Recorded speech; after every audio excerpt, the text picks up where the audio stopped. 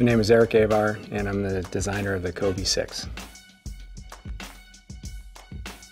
The, the main story is bringing the, the Mamba to life. The Black Mamba to Kobe means being one of the deadliest predators on the planet. That's his approach to every game. He's very calculating very quick. Yeah, the black mamba has one of the most deadly venoms in you know in the world. So it's just this notion of creating this this word phenomenon. So playing off the lethal nature, but putting a spin on it and trying to have some fun also.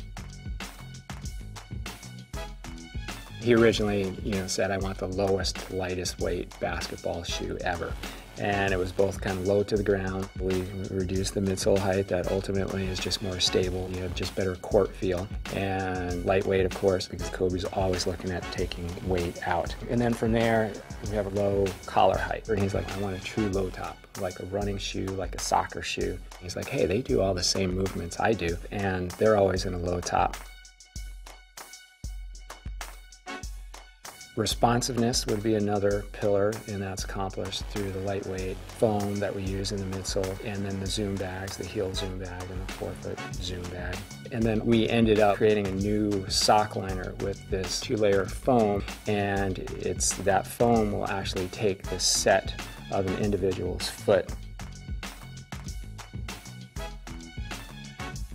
ultimately all those things just come together around this very versatile product. Versatile that, yes, it's very lightweight, it's low to the ground, it's responsive, but we don't compromise any performance. Whenever I talk about design, I always talk about good design being a balance between science and art.